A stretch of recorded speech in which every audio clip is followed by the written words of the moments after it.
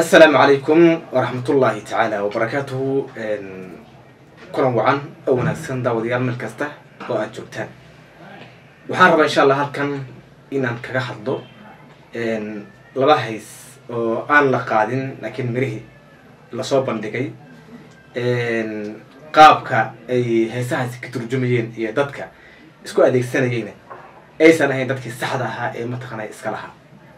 Iyo dad buunbuuninayay heesahaasi laftooda laakiin ugu dambeyn la soo ogaaday dadka ka dambeeyey heesahaasi shucuurta la dhaliyey aflagaado badanna lagu geystay rag iyo dumar intaba. Balse haddii aa ku cusubta janalka subscribe like share intaba inoo saar. Waxaa shalay ilaa xalay ilaa habeen hore ku jiray baraha bulshada. Hadal heen ah in ogbad aragsan ay soo tirisay ereyo ay tiri waa hees aan soo wado kuwaasi oo weliba ay ugu dulxilaysay ninkeedii horey ay u kala tageen ee qamar sugaani. Ereyahaasi inta badan waxa ay keeneen hadalhayn aada u fara badan. Weliba waxaa la soo dhigay bage ku qoran yahay ogbad aragsan oo laga dhigay in iyadu ay leedahay.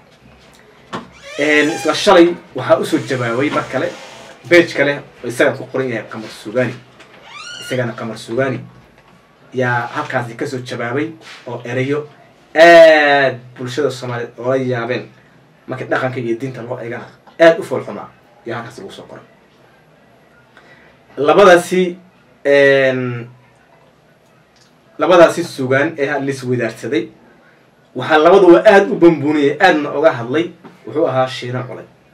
Shiina culay yaa aada oga hadlay labaduba ogbaad baa soo dhigtay shiina ka hadlay aad uga taqaanaa u faalleeyey waxaa haddana soo hadlay qamar haddana waxaa mataqaanaa aada oga hadlay ninka la yidhaahdo shiina culay marka warida t v waraysi uu la yeeshay dadka ugu dhow dhow ogbaad aragsan.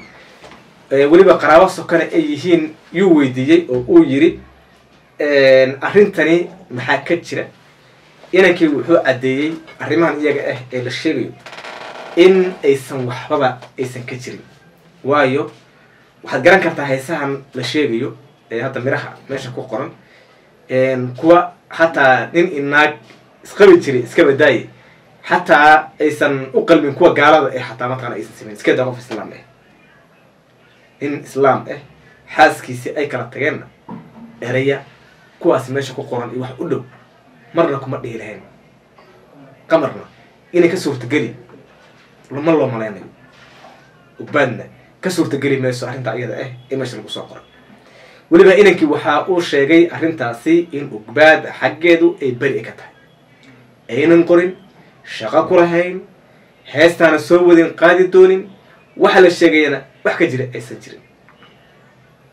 Waxaa kaloo u sheegay in qamar laftiisa arrintaa iyada ah ama kaag inay ku ahayd waxba uusan ka ogeyn marka haddii saasi dhacday xaggay ka timid arrintan marka waa kuma qofka iskale beijajkan sida aan wada ognahay ama la wada soconno inta badan beijajkan waxaa samaysay dad qowlaystayaal ah doonayo in iyagaasi waxay rabaan ay ku aflagaadeeyaan qofkay rabaan ay kula colaytamaan waxay iyaga doonaana ay ka sameeyaan ayagu ku qaraabanayo qof magacii qof magacii iyagu ku qaraabanayo nin baa iska qortay ubad aragsan ku xamaalanayo gabadha muuqaalka si sawir kastoo meel ku gasho beejkii buu soo gelinaya.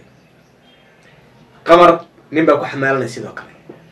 Marka dadkaasi ku xamaalanayo shiine qeyb ma ka yahay. Shiine qeyb ma ka yahay. Marna qeyb buu ka yahay marna qeyb kama ah haddii isagu laftiisa uusan garanaynin in beejajkani kuwooda saxdaha aysan ahayn dee lama dhihi kara qeyb buu ka yahay markii dhanka saxda ah laga eegana qeyb buu ka yahay. Muxuu qeyb oga yahay shiina waa nin baraha bulshada aada uga yaqaano. Waa nin garanayo muxuu ahaa qamar. Waa nin garanayo ogbaad ama dad garanayo iyo mataqaana yaqaana waxaa u sahlaneed marka ayada inuu waco ogbaad ama qamar u yidhaahdo war arrintan maxaa ka jira. Maadigaa iska leh haddii markaa iyada iyada aysan lahayn ama isaga uusan lahayna sidii saxdaa inuu oga hadlo. Laakiin in dhaqan xumo uu shiina loo boonbooniyo dadkina ay wada qaateen lana yaaban yihiin.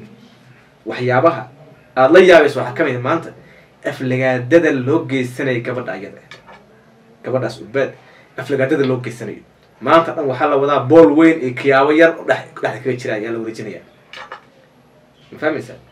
Marka taasi marka waxay noqotay in gabadhaasi muxuu ahaa soomaalida ah muslimka ah in loo gafay oo waxaan u qalmin in mataqaana qoorta loo geliyey ayaad arkaysaa. Kowna uu ka ahaa shiine waayo haddii isaga uusan buunbuunin lahayn arrimahani meeshaasi maysan gaari lahayn wax qaadan lahaana ma aysan jirin. Marka waxaan ka sugaynaana ka rabnaa shiine in aan aragna qamaroo haystaas qaadaya iyo ubooda haystaas qaadayso in la helo. Markaasi beri buu noqonaya haddii laakiin la waayo dee shiine waa in gabadhaasi xaal inuu ka bixiyo. Waayo xaal baa qabanayo xaalka isaga ah dee shiina looga baahan yahay. Maxaa yeelay gaf buu u geystay. Gabadha ayada gaf weyn yuu u geystay. Qamar isaga waa nin rage oo mataqaanaa dhib malahane waxa ugu daran waa gabadhaasi maanta meel kasta la wareejinaya caydeeda iyo muxuaha iyo xumaanteeda. Qof kastana uu mataqana u wareejinayo.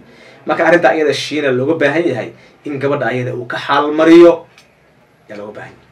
Waayo dhaqankeenni suubanaa soomaalinimadeenni diinteenni intii mataqana meel ka dhacbay mataqana ayay ahayd. Haddii beejishkan ay feeg ay ahaayeen dee waxaa u sahlanaa shiine? Marka ayada in uu qofka ugu dhow ama haddii asaga u heli karo qofki inuu dhow war maxaa ka jira? Waxba kama jiro uu markaa soo fadhiisoo yiraa war waxani waxba kama jira. Uu sheego. Laakiin inuu boonbooniyo wixii oo uu ka soo qaado wax mataqaanay dadkii aad oola yaabeen dee macquulgal ma aha. Wax aqli galayana ma aha waxaa aada ugu badan baraha bulshada bejajka dadka caanka ah lagu samaysanayo haddana dadka lagu caynayo dadna la dilayo nin caan ah ood garanayso oo wadaad ah yaa arkaysa asagoo le ina lilahi wa ina ilayhi raajicuun. Hebel oo maanta meeshaasi ku geeriyooday wararkaa ninka masaajidka ku jira? Fanaanad caan ah oo masraxa saaran. Yaa waxaad maqlaysa idoo la leeyahay way dhimatay way geeriyootay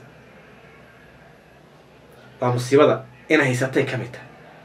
Marka dadka caanka ah waxaa u fiican kharash kasta oo kaga baxaa kaga baxee in bejajkooda mataqaana ay verify gareeyaan.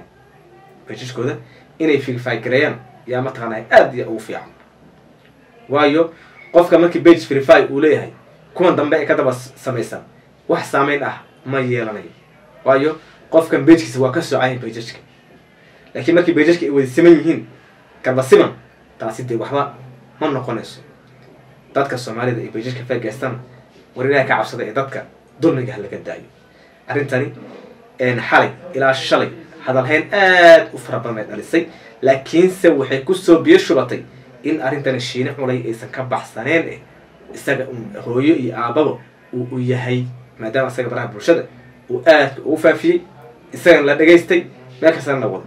Gabadhaasina dee waa in shiine culay uu ka soo garbaxa reerkii gabadha dhalayna kolley bay u joogaan arrinta ayada tu looga haraya shiine ma aha.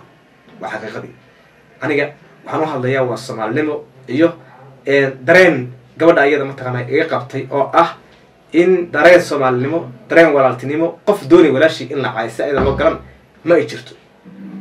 Marka waa cay aflagaada meesha u dambeysay mataqana arrinta ayadigi ahayd daawadayaal intaan barnaamijkan midka kulmayno nabadgelyo